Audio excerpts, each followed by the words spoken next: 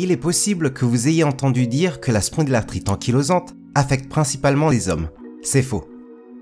En effet, bien que les premières études s'adressant à ce sujet déterminèrent un ratio homme-femme souffrant de la spondylarthrite ankylosante de 10 hommes pour une femme, plusieurs études par la suite ont démontré que ce ratio n'était en fait que de 1 pour 1.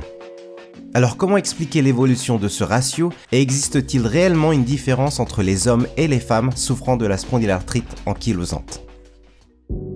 Les hommes et les femmes, je ne vous apprendrai rien, sont différents. Unser Geschlecht beeinflusst maßgeblich, ob und wie wir krank werden. Et on doit être alerté par les signes qui sont plus spécifiquement féminins que masculins. Pour les personnes non atteintes par la maladie, la spondylarthrite ankylosante est une maladie plutôt invisible. Vu de l'extérieur, seules les douleurs chroniques au niveau des hanches permettent de suspecter une spondylarthrite ankylosante. Pendant longtemps, seuls les changements radiographiques de la colonne vertébrale, observables par radiographie associée à une douleur chronique du bas du dos, permettaient d'établir un diagnostic. À cette époque, les études se basant sur ces seuls critères de diagnostic pour quantifier le ratio homme-femme souffrant de la spondylarthrite ankylosante observaient un ratio de 10 hommes pour une femme souffrant de la spondylarthrite ankylosante. Au fil du temps, la découverte de nouveaux outils de diagnostic, comme l'identification de nouveaux marqueurs génétiques autres qu'HLA la B27, ainsi que l'imagerie par résonance magnétique, abrégée IRM, permettant d'observer l'inflammation, impossible auparavant avec la radiographie, a permis de mieux comprendre la maladie.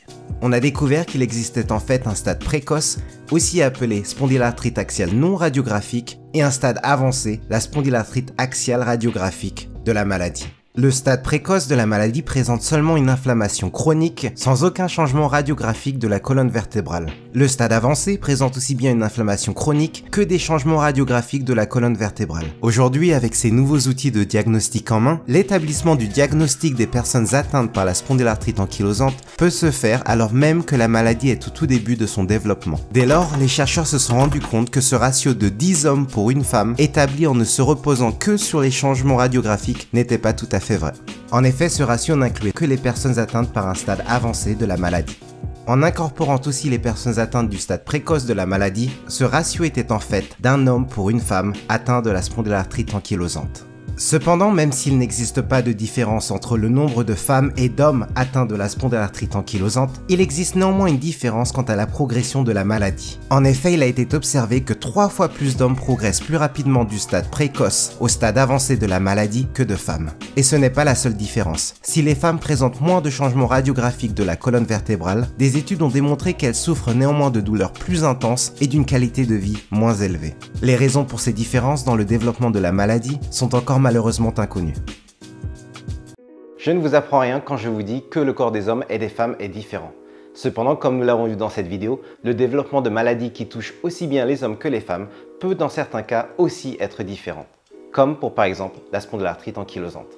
Ce qui semble aujourd'hui être évident ne l'était pas auparavant, et la recherche s'est penchée sur ces différences liées au sexe que lors de ces quatre dernières décennies. Il reste malheureusement encore beaucoup de questions auxquelles répondre sur le rôle du sexe, dans le développement de la spondylarthrite ankylosante. Comme à chaque fois si la vidéo vous a plu, n'oubliez pas de liker, de partager, mais aussi de commenter. A bientôt pour une prochaine vidéo.